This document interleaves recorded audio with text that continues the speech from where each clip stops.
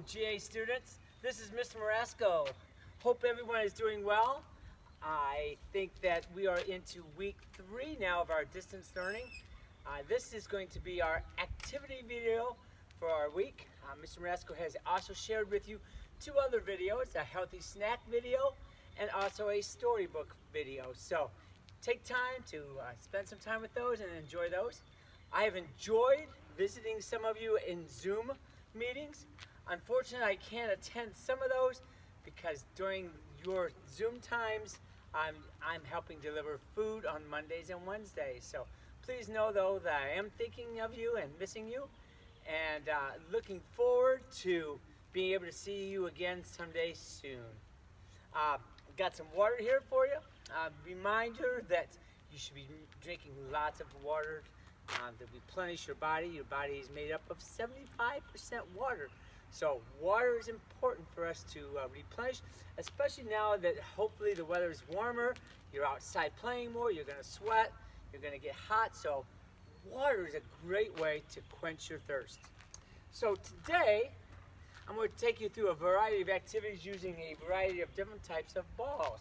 Um, I went to school today and grabbed a bucket of balls of different things for us to do. Um, so just follow along. Remember, these are just suggestive things that you can be doing at home. Uh, I've got my posters here. And the first activity we're going to do is called the body ball roll, in which we're going to take a ball and we're going to try to go up and down our legs and around our body without dropping the ball. So with this activity, I would suggest that you find a smaller ball, something small. I've got a small green ball. Just take the ball, start down here on my side, and just using my hands, I'm to roll up my body, under my arm, over my arm, across my body, under my arm, and back down. And the goal here is just to be able to do this activity without dropping the ball. Keeping control of the ball. Ooh. Notice how it's going in contact with my body at all times. I'm moving it around my body. So if you could try that three, four, five times. That was body ball. The next one is called bridge ball. And on this one, you're gonna sit down, lift your knees up, and you're gonna have the ball go under your legs back and forth. This is called bridge ball. So this one here, I'm just gonna take a smaller, a little bit bigger ball, medium-sized ball. I'm gonna sit down, lift my knees up, and I'm just gonna go back and forth. Trying to do that without losing control. See if you can do that five times in a row if you're a K1 student. Two, three students, see if you can do it 10, 12 times in a row Back and forth. So that is called bridge ball. The next activity is called eight ball. Yes, it's garbage pickup day. And I've been waiting to do this all day. And when I decide to do the video, there goes the garbage truck. Just roll with the punches. Eight ball, we've actually done this one in class. You're gonna take the ball and go through your legs, making a figure eight without dropping it. Again, you find a ball that you're comfortable with. Kindergarten and first grade students, you might want to use a smaller ball. Second, third graders, you might even want to use a bigger ball. And some of our third graders could even use a basketball with this. So find something that you are comfortable with. I'm going to just stick right here with the medium ball. So I'm going to go around my legs, right leg, left leg. Trying to do that without dropping it. If you're really good, See if you can do it without looking. Younger students, if you want to do it by keeping it on the ground, we can do it that way also. Just good ball control, hand skills. Next one is called clap ball. And with clap ball, we're going to take the ball, throw it up in the air, and clap.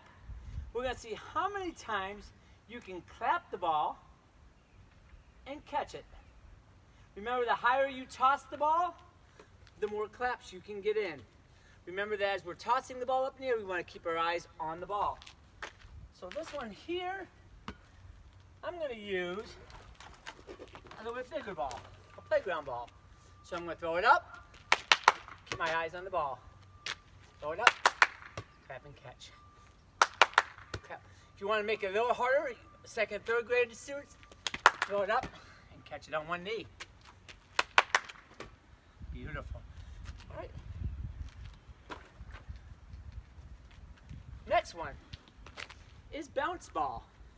And with our bounce ball, we're going to be bouncing the ball back and forth using our fingertips. Remember, we want to keep our hands on top of the ball. We're using our fingertips, and the ball is going to go back and forth like the letter V. going to use my special ball for this. ND ball. Body staying up straight, back and forth. Right hand, left hand. Dribble back and forth. Notice here that I'm in control of the ball. Toss back and forth. Do that obviously with a medium basketball. Do it with a larger basketball for my older students. Find something that works for you at home.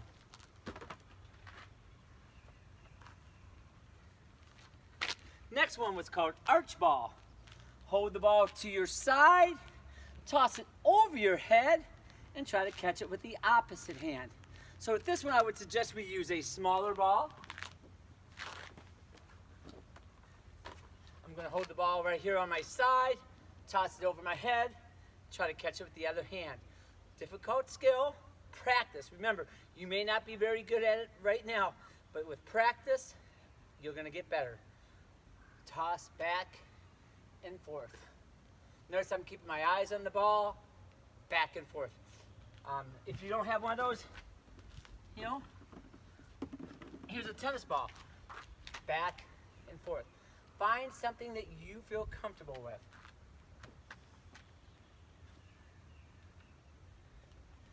Next one is called the high ball. And with the high ball, you want to throw the ball up high in the air keeping your eyes on the ball, you want to see if you can catch it without moving your feet. So you really got to make a good toss with this. If you throw it too high or out of control, you won't be able to catch it. So you want to do high ball.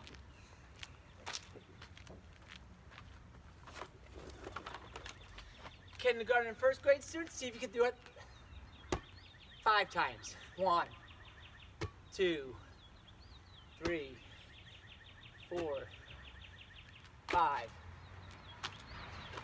Here's a different ball.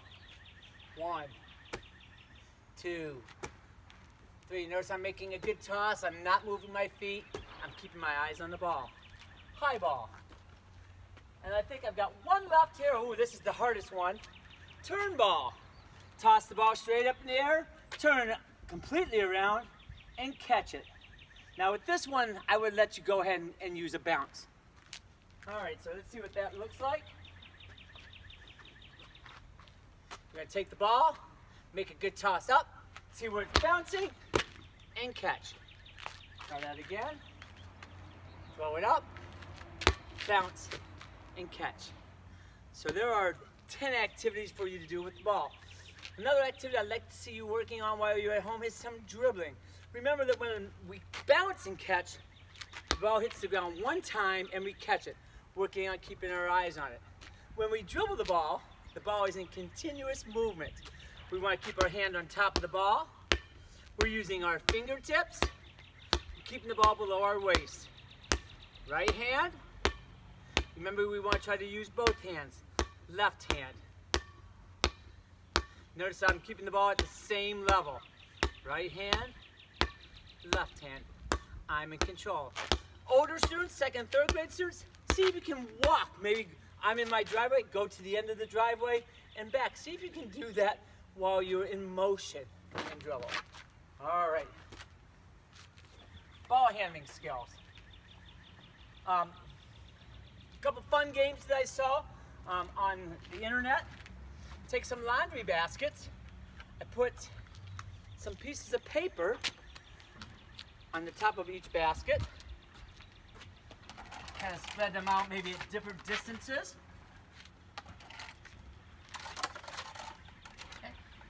And I have a, some colored balls that I got from school.